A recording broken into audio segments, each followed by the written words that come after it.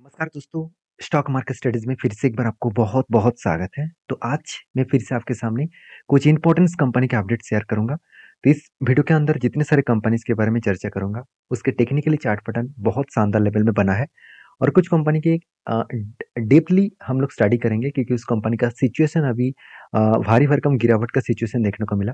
या उस सिचुएशन के ऊपर आपको क्या डिसीज़न लेना चाहिए? इस तरीके से सिचुएशन अगर हो तो आपको कौन सा चीज़ों को एनालिसिस करना है, वो भी मैं इस वीडियो के ऊपर शेयर करूँगा। तो वीडियो को लास्ट तक देखिए और अभी तक अपने चैनल को सब्सक्राइब नहीं किया तो ज़रूर कर लीजिएगा। कंटिन्यूसली इन्फॉर्मेशन और अपडेट्स पाने के लिए चैनल के ऊपर बने रहिएगा। तो चलो, अभी देख लेते हैं कौन सा कौन सा कंपनी है इस वीडियो के अंदर। फ़र्स्ट जो कंपनी है, उसका नाम है केपीआई ग्रीन एनर्जी देखिए केपीआई ग्रीन एनर्जी जो है, वो देखा जाए तो एक एनर्जी सेगमेंट के ऊपर काम करते हैं और कंपनी जब से स्टार्ट हुआ तब से लेकर उतना ज़्यादा परफॉर्मेंस नहीं किया था। और जब गवर्नमेंट ने इलेक्ट्रिक व्हीकल्स के ऊपर ग्रीन एनर्जी के ऊपर सोलर प्रोजेक्ट के ऊपर ज़्यादा ध्यान दिया, उसके बाद देखिए इस कंपनी का हालत ही चेंज हो गया। तीन सौ पचहत्तर से 1250 तक कंपनी जर्नी दिखाया। तो ये जो जर्नी है ये अलग लेवल का जर्नी यहाँ पे देखने को मिले। और रही बात कंपनी के मार्केट कैप का, अभी भी देखिए बहुत छोटा कंपनी है मतलब चार हज़ार तीन सौ करोड़ के आसपास है और इसका growth of potential high level में होने का चांसेस है।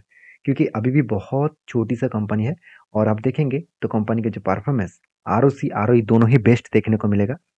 अभी पी रिश्यू थर्टी के आसपास है और अभी कंपनी का मतलब इंडस्ट्रीज़ पी रिश्यू कितना है? फोर्टी सिक्स इसका मतलब कंपनी का पी रिश्यू अभी भी अंडर वैल्यूड है। कंपनी की जो आ, मतलब खुद का जो पी रिश्यू है वो दिखा जाए तो थोड़ा सा ज़्यादा देखने को मिला क्योंकि कंपनी का खुद का जो पी रिश्यू है पाँच साल में एटीन के आसपास एवरेजली और कंपनी का करेंट जो पी रिश्यू चल रहा है वो कितना है थर्टी के आसपास एवरेजली। तो मैं ज़रूर कहूँगा इस कंपनी के ऊपर आपको फोकस होना चाहिए और रही बात आर ओ में दोनों में आपको बेस्ट परफॉर्मेंस दिखेगा। देखिए एनुअली इनकम भी अच्छा खासा है उसके बेसिस में कंपनी का डेप्थ देखा जाए तो टू पॉइंट फाइव एट के आसपास देखने को मिला। मतलब डेप्थ बहुत ज़्यादा है और इस कर्जा लेने के बाद भी कंपनी अच्छा खासा प्रॉफिट कर रहा है। ऐसे नहीं कि कंपनी कर्जा ले लिया और प्रॉफिट नहीं किए। तो कर्जा लेने का मेन मकसद है कंपनी बिज़नेस को एक्सपेंड करने के लिए, बड़ा करने के लिए। जितने सारे उसको प्रोजेक्ट मिला है, उस प्रोजेक्ट को कंप्लीट करने के लिए कंपनी के हाथ में तो एक्स्ट्रा पैसा नहीं है। तो वो कहाँ से उस प्रोजेक्ट को कंप्लीट करेंगे? तो इसीलिए उसको कर्जा लेना पड़ रहा है। अगर इस कंपनी के सेल्स के बारे में बात करूँ तो क्वार्टरली जो सेल्स है, आप देखेंगे कितना शानदार तरीके से कंपनी सेल्स को इंक्रीज किए एक्सपेंस को भी कंट्रोल में रखे और उसके कारण कंपनी का 21 करोड़ से पैंतीस करोड़ के आसपास प्रॉफिट देखने को मिला। तो अलग लेवल का प्रॉफिटेबिलिटी ग्रोथ हुआ। उसी बेसिस में देखा है तो कंपनी का जो बैलेंस शीट है, ध्यान दीजिएगा इस चीज़ को कि कंपनी का बोरिंग्स 2019 में से 40 करोड़ है। 40 करोड़ था और आज कितना? साढ़े आठ सौ करोड़ के आसपास। तो इतना कर्जा बढ़ा क्यों? देखिए, सबसे पहले कंपनी का मैं ट्रेड के बारे में बात करूँगा। देखिए 2019 में 40 करोड़ का जब कर्जा था सिर्फ़ उसको प्रोजेक्ट मिला था सिर्फ़ तेरह करोड़। और आज कितना प्रोजेक्ट मिला है? 200 करोड़। तो ऑलमोस्ट यहाँ पे भी जितना ग्रोथ हुआ, उसी तरीके से कर्जा भी बढ़ा, क्योंकि कंपनी को बहुत ज़्यादा प्रोजेक्ट भी मिला। उस प्रोजेक्ट मिलने के कारण कंपनी का ग्रोथ होने का चांसेस भी ज़्यादा था तो यहाँ पे ग्रोथ देखने को मिल गया। अभी, एज ए, इस कंपनी के ऊपर जो टोटल प्रॉफिटेबिलिटी है, अगर उसके बारे में चर्चा करूँ तो कितना है? 134 करोड़ तो 134 का फोर करोड़ का टोटल प्रॉफिट हुआ और साथ ही साथ कंपनी का सेल्स ग्रोथ प्रॉफिट ग्रोथ एक बेस्ट लेवल में देखने को मिला और उसके साथ साथ कंपनी का जो सीएजीआर का परसेंटेज है, वो भी आपको शानदार तरीके से देखने को मिला। तो कंपनी आपको तीन साल में करीबन ढाई सौ परसेंट, एक साल में एक सौ पचासी परसेंट के आसपास रिटर्न दिया। तो कहने का मतलब है इस कंपनी के ऊपर फोकस रखिए। एज ए इन्वेस्टर प्रोमोटर से लेकर एफएसडीएस पब्लिक हर किसी के पास इन्वेस्टमेंट आपको दिखेगा। तो आप इस कंपनी के ऊपर क्या डिसीज़न ले, आ, ले चुके हैं ज़रूर मुझे कमेंट्स करना। तो फ़िलहाल के जो सिचुएशन है अगर मैं डिलीवरी का परसेंटेज दिखा दूँ तो डिलीवरी देखिए कंटिन्यूसली एक डाउन लेवल साइड में देखने को मिला। इसका मतलब कंटिन्यूसली जो डिलीवरी उठा उठाना चाहिए था उतना ज़्यादा डिलीवरी यहाँ पे उठ नहीं रहा। क्यों? क्योंकि देखिए, जब कंपनी टॉप लेवल में होता है मतलब एकदम हायर लेवल में, इसके ऊपर कोई प्रीवियस हाई नहीं है कंटिन्यूसली लगातार कंपनी अप टेन में जा रहा है तो बड़े इन्वेस्टर उस टाइम निवेश नहीं करते हैं। बड़े इन्वेस्टर तब निवेश करते हैं जब रिटेसमेंट हो, एक सस्ते दामों में मिले डिस्काउंट में मिले, तब उसके उस जगह पे वो बाई करते हैं। तो कहने का मतलब है, इसका चार्ट पैटर्न देखने से ही आपको पता चलेगा। तो मैंने कि आपको एक लेवल मेंशन करके दिया था, एक रेंज है, इसी रेंज के ऊपर कंपनी ट्रेड किया था, और जब जब वो नीचे आया तो हायर लो बनाया था। इसका मतलब एक अपसाइड मोमेंटम कंपनी को वो देखने को मिला और फाइनली ब्रेकआउट हुआ और एक धमाका परफॉर्मेंस हुआ। और देखिए यहाँ पे कफ विथ हैंडल पैटर्न्स भी बना था। इसको ब्रेकआउट किए और उसके बाद देखिए ब्रेकआउट होने के बाद यहाँ पे डायरेक्टली टारगेट हो गया। तो इस तरीके से ट्रेड को हम लोग नहीं लेंगे क्योंकि जिस कैंडल ने ब्रेकआउट करे, उसके बाद जो रिटेस सॉरी कन्फर्मेशन कैंडल मिला, वो ऑलमोस्ट टारगेट के आसपास। तो इस तरीके से जब भी अगर यहाँ से रिटेसमेंट करके फिर से वापस जाता तो मैं यहाँ पेंटी लेता। तो डायरेक्टली टारगेट बन चुके हैं। तो नेक्स्ट टाइम अगर यहाँ पे आएगा तो मैं कोई भी एंट्री नहीं लूँगा। तो देखिए, आज कंपनी टॉप लेवल में है, जिसके चलते हुए कंपनी के ऊपर अभी बड़े इन्वेस्टर निवेश नहीं कर रहा है। तो आप भी सोच समझ कर काम करिएगा। ऐसे नहीं कि ब्लाइंडली निवेश कर दूँ कि कंटिन्यूसली भाग रहा है। तो भागते हुए ट्रेन में मत चढ़ना। आपको वही ट्रेन में चढ़ना है, जो ऑलमोस्ट रेल स्टेशन में अभी भी खड़ा हुआ है। तो इसका मतलब है, अभी भी कंपनी स्टैंड कर चुके हैं डिस्काउंट में दे रहा है। तो बाकी देखिए, हर किसी का अलग अलग राय होते हैं। आपका क्या राय है? ज़रूर कमेंट्स करना। नेक्स्ट जो कंपनी है, उसका नाम है डीमार्ट देखिए, बहुत सारे लोग मुझे क्वेश्चन किया कि, सर डीमार्ट का अभी इतना ज़्यादा प्रेशर क्यों है? डीमार्ट उतना ज़्यादा ग्रोथ क्यों नहीं कर पा रहा है? उसके पीछे रीज़न मैं आपको समझाता हूँ। रीज़न के बाद आपको खुद ही पता चलेगा कि डीमार्ट अभी किस बेसिस में प्रेशराइज क्रिएट हो रहा है। अगर एक डेटा मैं आपको सामने यहाँ पे कैलकुलेशन करके दूँ तो एक डेटा मुझे देखने को मिला। इस इस साइड में रिलायंस रिटेल दिखेगा, इस साइड में डीमार्ट दिखेगा। देखिए रिलायंस के साथ डीमार्ट को टक्कर लेना इतना आसान नहीं है, क्योंकि डीमार्ट का जो टोटल मार्केट कैप साइज़ है तो करीबन ट्वेंटी फोर थाउज़ेंड करोड़ के आसपास। और मतलब रेवेन्यू जो है, वो ट्वेंटी फोर थाउज़ेंड करोड़ के आसपास है। और आप देखेंगे तो रिलायंस का जो टोटल रेवेन्यूज है, वो one point six two lakhs crore के आसपास। तो सोचिए one lakh sixty two thousand crore के आसपास। तो कितना ज़्यादा यहाँ पे कंपनी का रेवेन्यूज है, आप देख सकते हैं। आप कहेंगे, सर, बहुत ज़्यादा है। तो डिमांड क्यों नहीं कर पा रहा है? तो उसके पीछे रीज़न भी है। अगर सबसे पहले मैं कंपनी के स्टोर के बारे में बात करूँ तो नंबर ऑफ़ स्टोर्स के बारे में बात करूँ तो ये प्रीवियस डेटा है फिर भी डेटा को देखकर आपको समझना पड़ेगा। आ, अभी फ़िलहाल के लिए न्यू सिचुएशन देखेंगे तो और भी यहाँ पे रिलायंस का स्टोर देखने को मिलेगा। तो प्रीवियस डेटा है प्रीवियस सालों का। सिर्फ़ मैं आपको एक अंदाज़ा देने के लिए इस डेटा को दिखा रहा हूँ। देखिए दस हज़ार छः सौ करोड़ के आसपास।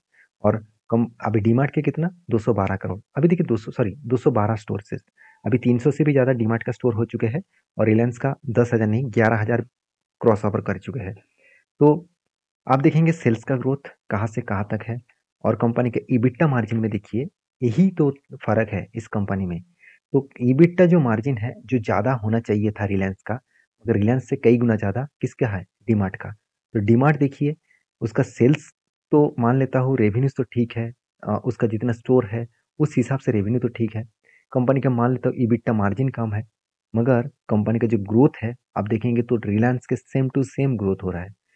ट्वेंटी फोर परसेंट अभी देखिए थोड़ा सा कम हुआ रिलायंस से थोड़ा सा कम हुआ और इसी के चाल, चलते हैं। ये सारे कारण के वजह से अभी इंडिया में रिलायंस से डीमार्ट का जो कंपटीटर है, उस हिसाब से देखा है तो डीमार्ट का अभी स्लो डाउन देखने को मिला क्योंकि उसका जो कंपटीटर है रिलायंस वो तेज़ी से ग्रोथ कर रहा है और उसका स्टोर लगातार बढ़ते जा रहे हैं और रिलायंस एक टारगेट भी लिया हर दिन इंडिया में दो स्टोर नया वो ओपन करने मतलब कर रहा है। तो सोचिए, हर दिन दो स्टोर स्टोर ओपन करना मतलब साल में कितना होगा? करीबन 700 से भी ज़्यादा। तो यही चीज़ रिलायंस को एक पुश दे रहा है और जो डिमांड को पुश नहीं कर पा रहा है। तो डिमांड भी पुश करने के लिए ऑनलाइन बिज़नेस भी स्टार्ट किया है और भी नया नया स्ट्रैटेजीज वो करने वाले हैं। क्योंकि डिमांड कोई छोटे मोटे व्यक्ति का कंपनी नहीं है। डीमार्ट राधा किशन दमानी जी का कंपनी है और आप सभी जानते हैं राधा किशन दमानी जी इसका मतलब ओनर है। और उन्होंने हर तरीके से स्ट्रैटेजीज को फॉलो अप करके बिज़नेस को स्टार्ट किया और बिज़नेस को अच्छा खासा लेवल में लेके आए। और वो पहले एक स्टॉक ब्रोकर थे और उसके बाद बिज़नेस में आया तो उसका एक अलग लेवल का नॉलेज भी है। मैं मान लेता हूँ रिलायंस के पास पैसा है डीमार्ट के पास उतना पैसा नहीं है, फिर भी डीमार्ट कोई छोटा मोटा कंपनी है, दो लाख पचास हज़ार करोड़ के आसपास बन चुके हैं। तो कहने का मतलब है कंपनीज़ के ऊपर आपको रिसर्च करना होगा, क्योंकि सेल्स बढ़ा एक्सपेंस घटा और कंपनी का प्रॉफिटेबिलिटी सेम सेम रेंज में है।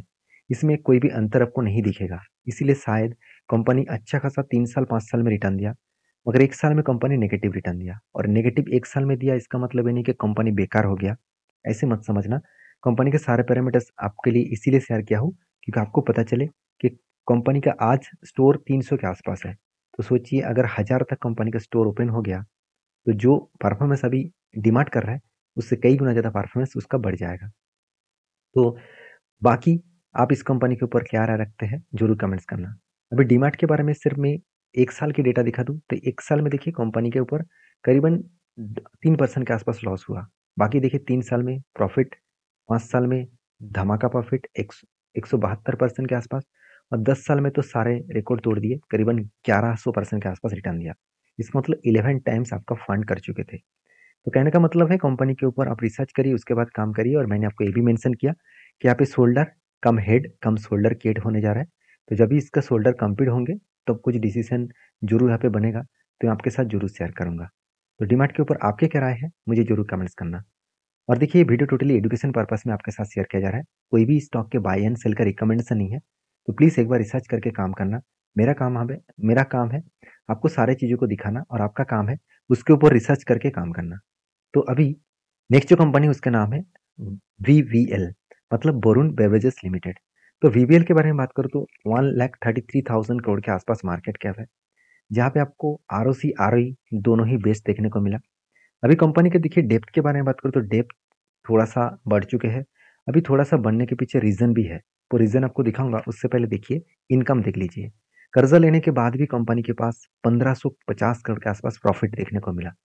मान लेता हूँ, प्रोमोटर के पास अच्छा खासा होल्डिंग्स भी है, हाथ में कैश उतना ज़्यादा नहीं है। फिर भी कैश ना होने के पीछे रीज़न भी है। देखिए कंपनी के जो बोरिंग्स है, वो पहले तो 1900 करोड़ के आसपास था, वो बोरिंग्स अभी बढ़ चुके हैं, साढ़े तीन हज़ार करोड़ के आसपास बन चुके हैं, तीन हज़ार सात सौ करोड़ के आसपास। और देखिए फिक्स्ड रिज़र्व भी बढ़ा, जो नौ करोड़ के आसपास हुआ करता था, आज साढ़े पाँच पाँच हज़ार आठ सौ करोड़ के आसपास बन चुके हैं। अभी फ़िलहाल के लिए, जो सिचुएशन वाइज देखूँ तो कंपनी के ऊपर जो फिक्स्ड एसेट है उस फिक्स्ड एसेट के बारे में चर्चा करूँ तो आप देखेंगे तो एसेट में आपको जो चीज़ सबसे जो बेस्ट देखने को मिलेगा, वो है प्लांट एंड मशीनरी देखिए वरुण बेवरेजेस प्रोडक्शन करते हैं प्रोडक्शन प्रोडक्ट मैन्युफैक्चरिंग करते हैं प्रोडक्शन भी करते हैं तो जिसके लिए मशीनरी ज़्यादा देखने को मिलता है। अभी सबसे इंपॉर्टेंट पॉइंट क्या है?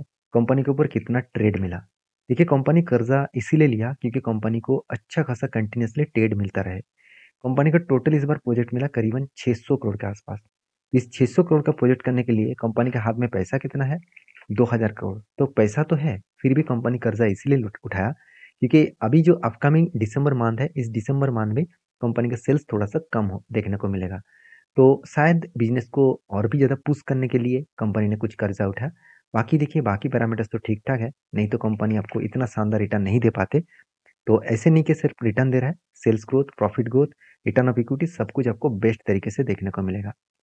अभी कंपनीज़ के लास्ट कुछ फ्यू मंथ्स का डेटा दिखा दूँ तो कुछ डेटा आपको देखने को मिलेगा, जो 70 टू 75 परसेंट के आसपास डिलीवरी देखने को मिला था। और मैंने कभी चार्ट पैटर्न भी मेंशन किया था, कि आप एक रेंज के अंदर फंसे हुए हैं, जब भी इस रेंज को ब्रेकआउट करेगा और रिटेसमेंट करेगा तो एक बड़ा धमाका आपको देखने को मिल सकता है। तो रिटेसमेंट करके ऊपर गया, फिर से नीचे आया, और उसी लेवल में एक हैमर जैसे कैंडल क्रिएट किया। तो जब भी इस तरीके से हैमर जैसे कैंडल क्रिएट करेगा उसको ब्रेकआउट करने के बाद एक अच्छा खासा मोमेंटम जर्नी देखने को मिला है। तो कहने का मतलब है कि कंपनी के ऊपर इस तरीके से जब भी ट्रेड बने तो आपको इंतज़ार करके सोच समझ कर काम करना पड़ेगा।